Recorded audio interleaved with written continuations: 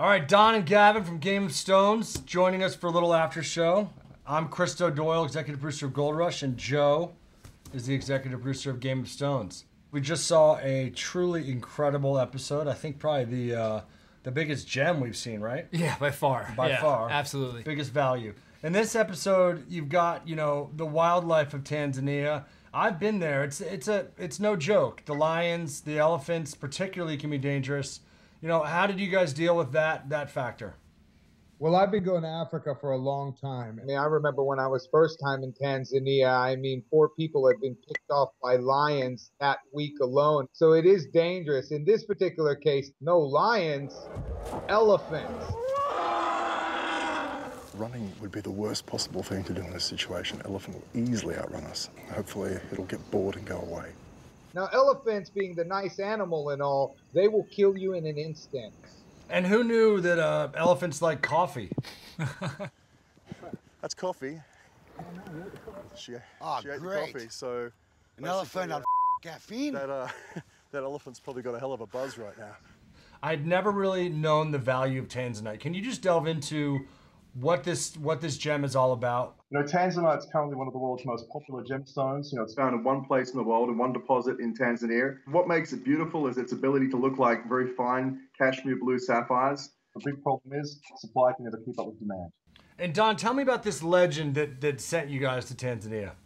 When I got, you know, word that potentially the Namunyak was real, I had to find out more. I had to see. And when I saw it, it was like seeing something that was not supposed to exist in the world. How is it possible that that a, a little boy could just kick over this gemstone? And when that Maasai tribesman was a little boy and he found the Namunyak stone, he was just very lucky. I mean, I, he had it for a very long time. Back then, the, the gem was really new, so it was possible that he could have found that very close to the surface. Through the years, as Tanzanite got more and more famous, he probably knew he had something, but he didn't make much of it. We went, we bought it, and we got the world's finest Tanzanite. How often are you guys able to get involved in a, in a, in a sale or a buy um, where everybody can win? This kid can get what he wants. You guys can get what you want. I mean, it's a very truly unique Sort of a perfect situation. Yeah, it's a yeah. perfect situation. We're like angel investors. In this particular case, because we were present, he got a better price for his stone than he would have got at that auction either way. 250,000 US dollar. laki mbili na sabini na tano. $300,000. Talipa laki nne. $410,000.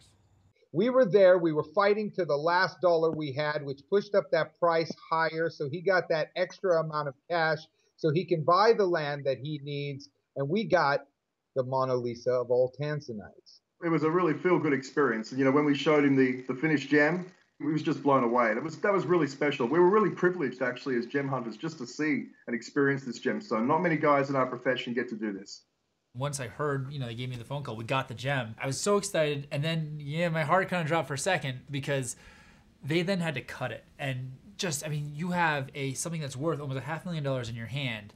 You could transform it and triple your money. Um, or you could have another incident Yeah. like what we had in Brazil. Gavin does have a little bit of a, a track record here. Gavin, what I mean, you know, would you have rather been in a different environment to cut this stone? You know, cutting the gem in Tanzania was, was tough, but uh, you know, we had to do it there. Um, that's what we had to achieve, and so you make it work. You know, a good tradesman makes it work. This is an old gem. It deserves the perfect cut. Something that will make everybody go, wow. Where's this thing gonna go? What are you guys gonna do with this this record breaker?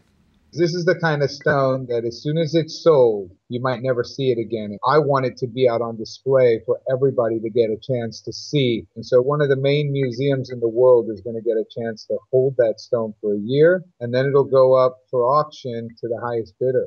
Guys, it's always great to talk to you. Next week we got what? Going, Romania? Going to Romania. Heartland of the Gypsy Mafia. It's going to be pretty good. Dracula, Romania. All of the above. All right, well, we'll be right here to talk about what really went down in Romania. Awesome. Thanks a lot, guys.